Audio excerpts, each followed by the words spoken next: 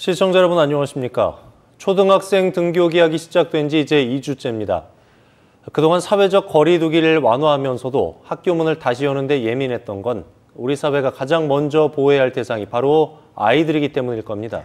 하지만 어찌 보면 말뿐입니다. 사고가 날 때마다 큰 논란이 됐던 어린이 통학 차량의 안전 규정조차도 여전히 지켜지지 않고 있습니다. 윤수진 기자입니다. 초등학교 1학년 아이를 둔 A씨는 최근 심장이 내려앉는 경험을 했습니다. 학교에 도착하고도 남을 시간인데 아이가 오지 않는다는 교사의 전화를 받았기 때문입니다. 식은땀을 내며 수소문했더니 아이는 등교를 맡긴 학원차 아니었습니다. 아직 학교가 낯설어 제때 내리지 못한 건데 학원차는 다른 학교를 다 돌고 차고지로 가는 중이었습니다. 엄마가 전화할 때까지 아이가 있는 줄도 몰랐습니다. 운전자 외에 당연히 있어야 할 보호자는 없었습니다. 2013년 당시 3살이던 김세림 양이 통학 차량에 치여 숨진 뒤 동승 보호자 탑승이 의무화됐지만 현실에선 아무 소용이 없는 겁니다.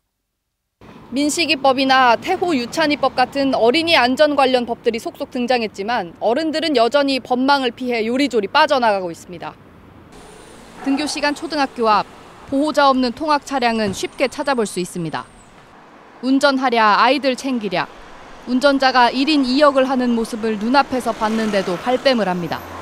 혹시 그 동승자 선생님도 같이 타고 계셨나요? 아, 예, 당연히 타고, 지금요? 어, 하고- 당연히 타죠. 최대 13만 원에 불과한 범칙금이 약하기 때문이란 지적도 나오지만 어린이 안전 규정을 소홀하게 생각하는 어른들의 안일함을 설명하기엔 부족합니다.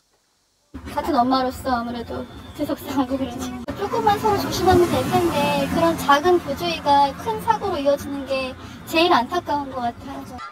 최근 3년간 전국에서 발생한 어린이 통학버스 사고는 1,600건이 넘습니다. G1 뉴스 윤수진입니다.